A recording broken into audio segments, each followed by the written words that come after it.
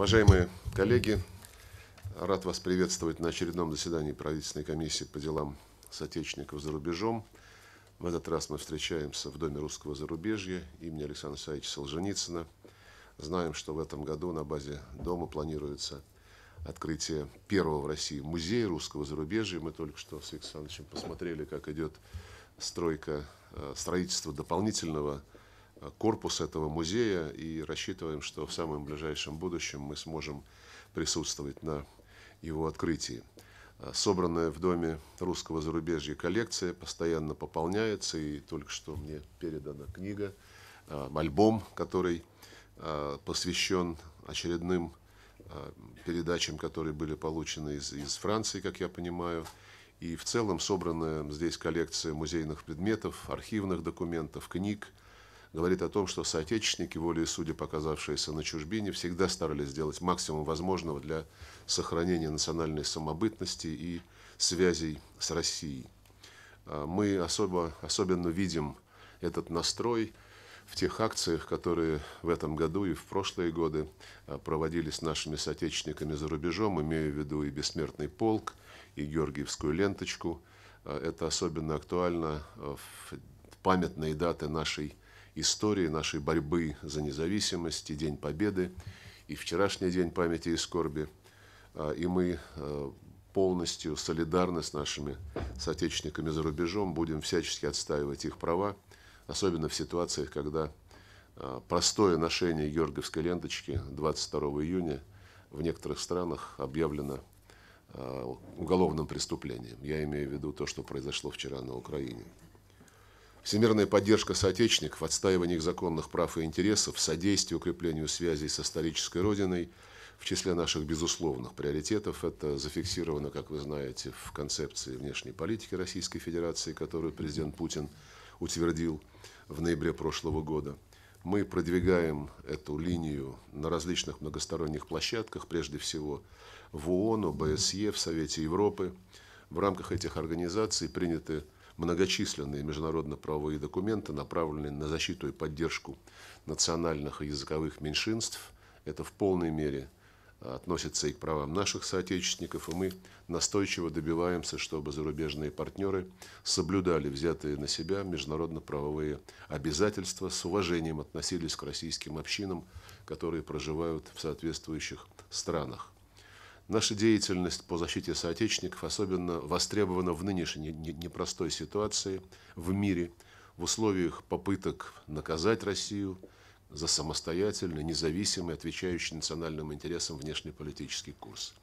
Антироссийская кампания, включающая в том числе односторонние санкции, информационную войну, дополняется в ряде западных государств давлением на соотечественников, особенно на их лидеров и активистов. Мы будем и впредь должным образом реагировать на подобные попытки, добиваться уважения прав наших соотечественников, которые а, живут в зарубежных странах. Я хотел бы с удовлетворением отметить, что российские министерства и ведомства, неправительственные организации настойчиво способствуют продвижению позиции русского языка, включая получение образования на русском языке за рубежом, включая содействие его, его преподаванию в местных вузах и школах.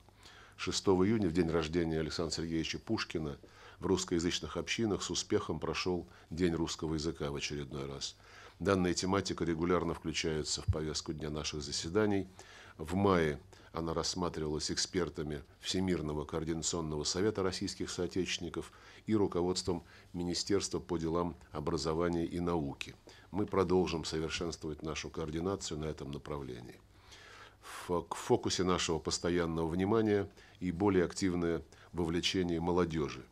Эти вопросы обсуждались в ходе встречи в мае этого года а, представителей Всемирного координационного совета российских соотечественников и председателей ряда региональных координационных советов с участием руководства Росмолодежи. А, доброй традицией стало проведение молодежных форумов и конференций – в этом году для молодых соотечественников в третий раз будет организована международная конференция в Софии под девизом «История России вчера, сегодня, завтра». В Эстонии с успехом прошел молодежный форум стран Балтии. Уже не первый год а, проходят и а, спортивные игры а, соотечественников.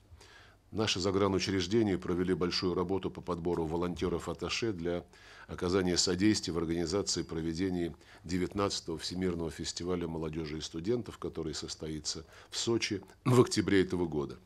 Ну, конечно, и на повестке дня возобновление в Москве семинаров для представителей молодого поколения в интересах дальнейшего продвижения интересов российского зарубежья. Значительное место в деятельности нашей комиссии занимает информационная работа, прежде всего в интересах продвижения объективного образа России среди наших диаспор, в интересах широкой общественности государств проживания. В этих целях используются разнообразные формы методы деятельности, включая поддержку русскоязычных журналов и газет, интернет-порталов, ну и, безусловно, активная работа журналистов, соотечественников способствует сплочению русскоязычных общин, их солидарности э, с исторической родиной в отстаивании интересов нашего народа. А, уважаемые коллеги, повестка дня сегодняшнего заседания весьма насыщена. Запланированы выступления руководителей Министерства образования и науки, Федерального агентства по делам молодежи Республики Татарстан. Мы должны проанализировать итоги проведенного загранучреждениями России мониторинга положения дел с соотечественниками. Это от нас требуется в соответствии с законом о государственной политике Российской Федерации в отношении соотечественников за рубежом. Обсудим мы проект соответствующей программы на 18-20 годы.